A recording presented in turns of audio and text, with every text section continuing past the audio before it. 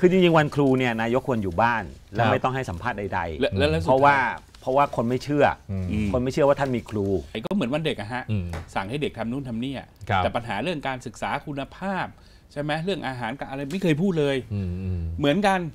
ครูก็ออกแนวประเภทครูดีสิทธิ์ดีมีอนาคตนะฮะ ครูดีสิทธิ์ดีไม่จำเป็นต้องเป็นสิ่งที่ต้องไปด้วยกันเสมอนะฮะ ฮะ บางทีโทษนะครับ ครู ครูครูเลวสิทธิ์ดีก็มีครูดีสิทธิ์เลวก็มีครับ ก็เรื่องธรรมดาฮะอืมก็ดูตัวเองเป็นตัวอย่างฮะใช่ไหมนะครับเออเออ แต่ปัญหาก็คือว่ามันวนเวียนอยู่อย่างเงี้ย แล้วมันผมว่าพวกครูต้องลุกขึ้นมาแบบเฮ้ย เรียกร้องหน่อยนะ พวกครูบ้านเราก็มีปัญหาเยอะนะฮะ การที่ตัวเองถูกผูกมัดอยู่กับงานเอกสารต้องทำยกระดับวิทยาฐานะสารพัดมีปัญหาเบียดเบียนในเรื่องเวลาการสอนอืมเราเห็นโรงเรียนขนาดเล็กที่อยู่พื้นที่ห่างไกล มีงบในการจ้างครู 3,000 บาท 4,000 บาทอะไรเงี้ยครับนี่คือเรื่องบัตรซบที่พลเอกประยุทธ์ตั้งใจจะให้มันเกิด และปล่อยให้มันเกิด โดยที่ตัวเองไม่คิดแก้ปัญหาเลยเหรอครับ และสุดท้ายก็มาอวยตัวเองว่าอะไรนะ ครูที่โรงเรียนน้อยๆบอกเนี่ยพลเอกประยุทธ์เนี่ยเป็นคนรูปร่างสูงใหญ่เสียงดังฟังชัดพูดจาฉาดฉานชัดถ้อยชัดคแล้วมันเกี่ยวอะไรกับการเป็นนายกที่ดีครูำเนี่ยทำสองอย่างแน่นอนครับผมรู้หนึ่งคือให้คำขวัญสองคืออวยตัวเองนะครับเพราะที่ผ่านมาเวลาแกไปแกทำอะไรรู้ไหม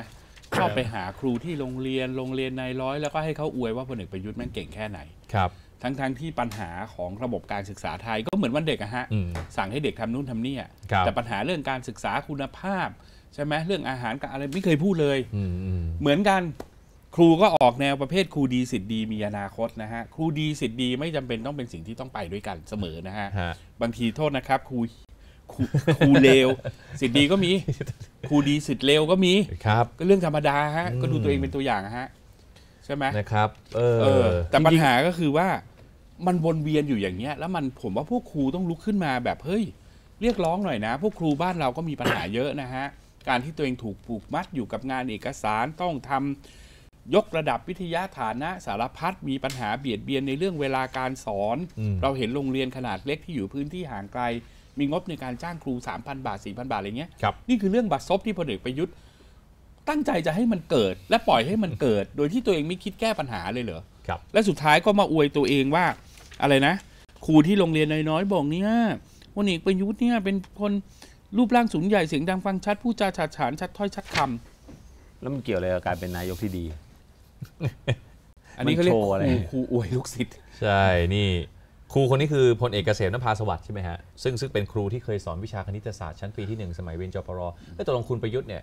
ข่าวจริงๆ คือไม่ได้ที่หนึ่งของรุ่นนะไม่ใช่ไม่ใช่ อัอันนนี้นั้นมีการอันนั้นอันนั้นสลิมเขาไปปั่นเอาเองไปเอามาจากไหนที่หนึ่งของรุ่นเขาเคยได้นั่นน่ะสิสอบฮะได้ที่หนึ่งตอนเขาเรียนมัธยมหรืออะไรอย่างเงี้ยสักครั้งหนึ่งอะไรอย่างเงี้ยนี่โทษนะครับเออที่ไม่แล้วครูเขาชมอะไรเนี่ยชมว่าโทษนะร่างกายคุณครูแข็งแรงผู้จ้าใช่จะทอยกรรมคุณครูเนี่ยไม่บอกว่าฉลาดเลยนะเออไม่ได้พูดจริงสอนสผมอนมีคณิตศาสตร์ไม่เหรอตักกะแข็งแรงอะไรอย่างงี้ไม่มีไม่เท่านั้นรูปร่างสูงใหญ่นะฮะเสียงดังฟังชัดพูดจาฉาฉานชัดถ้อยชัดคำครับ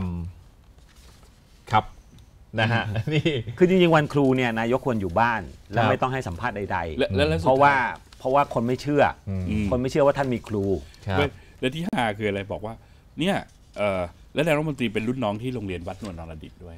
มสรุปก็คือมันคือพวกกันทั้งหมดอะใช่ป่ะสมัยนี้อยู่วัดนวลนี่พี่ไม่ธรรมดานะครับขับรถขับรถอะไรนี่ไม่ต้องเป่านะฮะอือืมม เบลลี่ชนปั๊บจริง ๆ ไม่ได้เกี่ยวกับเบลลี่นะครับเออมันเกี่ยวกับคุณจบวัดนวลนะเปล่าอ๋อเออนะเออนะสมัยเนี้ยตผลมกดีสมัยครูเนี้ยชมว่าร่างกายแข็งแรงนี่ตลกมากเลยชัดๆผมไปงานรับรางวัลศาสตราจารย์รับรางวัลเฮ้ยทุกคนพยายามจะบอกว่ากูเนี่ยมีคอนเนคชั่นเคยเรียนอยู่วัดนวลแล้วเกี่ยวข้องอะไรกับพลเอกประยุทธ์อืมตลอดเวลาครับแล้วผมก็คิดว่าคนเหล่านี้ คุณคิดถูกกันเหรอที่เอาตัวเนี่ยไปผูกพันกับพลเอกประยุทธ์เนี่ยนั่นน่ะดิฮะ เออเฮ้ย นะครับ ก็ สรุปแล้ววันครูได้พูดถึงนโยบายเกี่ยวกับครูไหมก็บางพูดการตอนประก็เมินี่นแหละแรกก็แล้วเป็นครูเป็นเรื่องศีลธรรมอาครูจารย์ต้องมีหน้าที่ไอ้นี่ลูกศิษย์ทำใช่ให้ไหมลูกครูศิษบย์ทบาทสำคัญในการซื้อพัฒงานนาวิเด็กจัยอะไรอย่างเงี้ยมีไหมมีพูดถึงไหมไม่มีเลยใช่ไหมไม่มีหรอกรู้หรือเปล่ารู้เรื่องนั้นเปล่ารู้อาจจะไม่มีใครบอกนะเนี่ยใช่ไหมแล้วใช้คำนะเนี่ยนะครูเป็นผู้เนี่ยประสิทธิ์ประสาทวิชาความรู้อะไรเงี้ยโหนี่มันเนอะ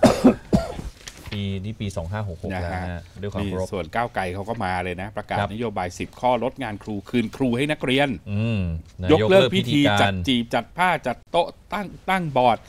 ลั่นนะฮะว่าหากถ้าได้เป็นรัฐบาลจะเพิ่มค่าตอบแทนครูบรรจุใหม่มากกว่าเดือนละ 20,000 บาทนี้เปิดเผยโดยคุณพิธาลิ้มเจริญรัตน์นะนะครับเนี่ยฮะข้อเสนอ 10 ข้อใช่ไหมถ้าก้าวไกลเป็นรัฐบาลแก้ได้ทันทีนะฮะยกเลิกให้ครูเข้าเวรทันที ยกเลิกพิธีการจัดจีบ จัดผ้าจัดโต๊ะตั้งบอร์ดในการประเมินผลทันที ห้ามผอใช้ครูทำผลงานให้ครูประเมินผลผอ360 องศาอืมนะครับ4คือลดงานธุรการครูเพิ่มงานบริหารให้ผู้บริหาร 5 ก็คือระบบ